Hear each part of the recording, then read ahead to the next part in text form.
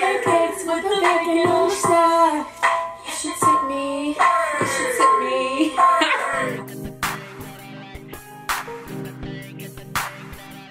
Hey guys, and welcome back to my channel. My name is Kaice if you are new here, and if you are new, please, please, please subscribe to my channel. I'm on the road to 30k subscribers, and when I get to 30k, I want to do a huge giveaway, and I would love for you to be a part of that and to be a part of my channel. So today I just have a really quick review um, on the new Eco Styler Gel with castor oil and flaxseed. This is like been raved about all over YouTube, all over the internet, all over the natural hair community. So I had to get my hands on it. Most of you guys have probably already heard what's in it, but I want to say it for those of you that may not be familiar with it yet. So this is the new Eco Styler Gel with um, black castor oil and flaxseed. It has vitamin E, fiber, and omega-3. It has the 10 max hold and max shine. As you can see, it looks like really shiny itself like in the jar. I don't know if you guys have ever tried any of the other castor oils. Let me grab my um, olive oil one. So I don't know if you guys can tell how like you can kind of see little shiny crystals in this one almost and then this one it just looks kind of dry.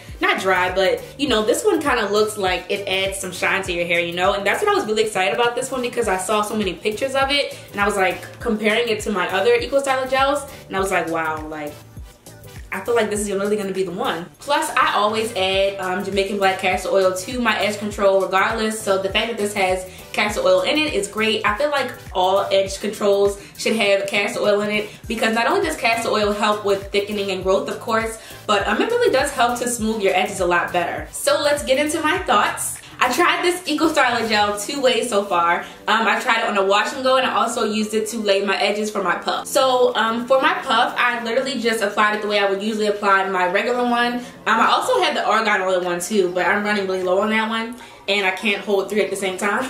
but um, I am comparing this to the olive oil one and the argan oil one. So like I said, for my puff, I usually use the olive oil one.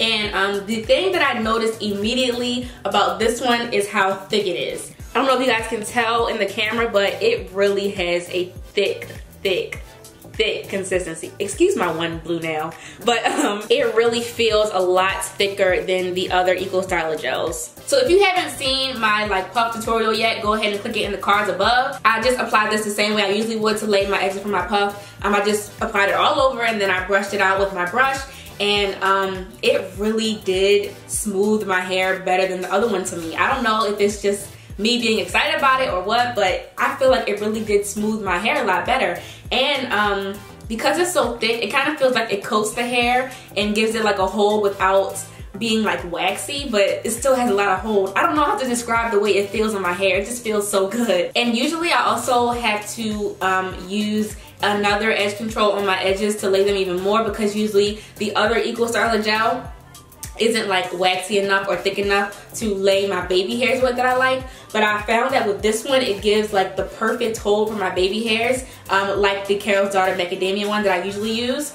And um, yeah, it's just like, it feels a lot, it feels like it has a lot more hold than the other Eco Styler gels to me. And it might be because it's so thick and because of the flaxseed in it as well I really like the way it made my hairs lay down for my puff. It just felt so smooth and moisturized. Now for my wash and go um, I couldn't film it obviously because I like I said before um, I live in a dorm and my shower and my dorm is a mess and I always do my wash and goes in the shower. So I couldn't film me actually putting it on but what I did was I co-washed my hair in the shower and then um, I applied my Shea Moisture Jamaican Black Castor Oil Leave-In Conditioner first and then I applied this castor oil uh, Styler Gel on top and um, it really, as soon as I put the gel on my curls, I could feel them clumping together. It really felt amazing. Now, I personally um, don't mind a lot of shrinkage most of the time because when I have a lot of shrinkage, my curls are usually the most defined.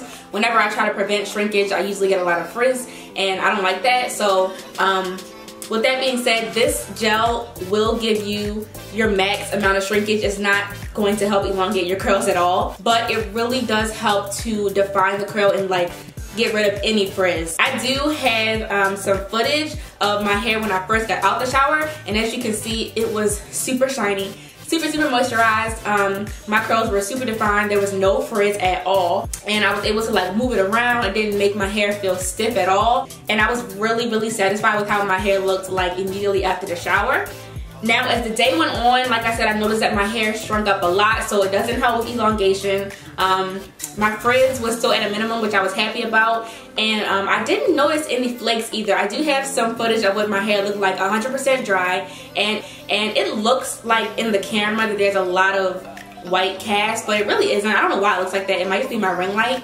But um, there was no flaking, no white cast, no nothing. My hair was really soft, it was really movable. And um, feel like this one has a softer hold for a wash and go than the other Eco Styler gels, which is so weird because I feel like it helped to hold my puff like hairs a lot better.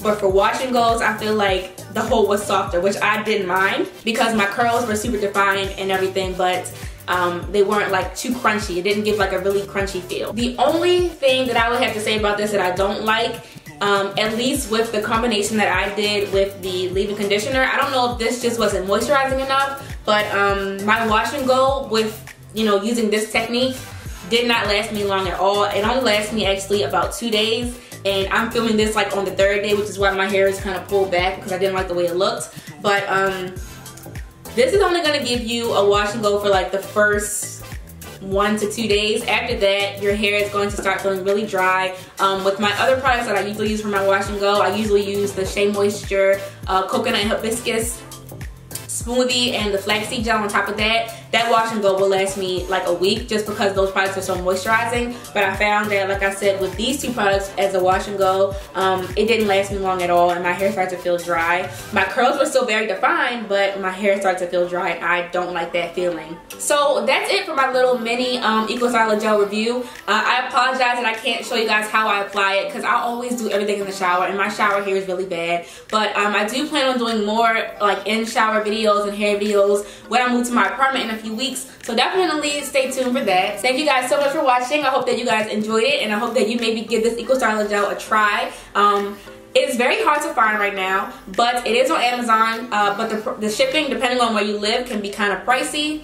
I'll put the link in the description box below so you can find where to get it. Don't forget to subscribe to my channel and subscribe to my blog if you have not already, www.thebeautyplug.org. It is an extension of my YouTube channel and um, I'm basically going to be posting everything I do here on there as well. Um, and I'm very, very excited about that. So I would love for you to subscribe. You can subscribe the same way you do to my YouTube channel and every time I post something new, you'll get a notification. Thanks again for watching and I will see you all in my next video.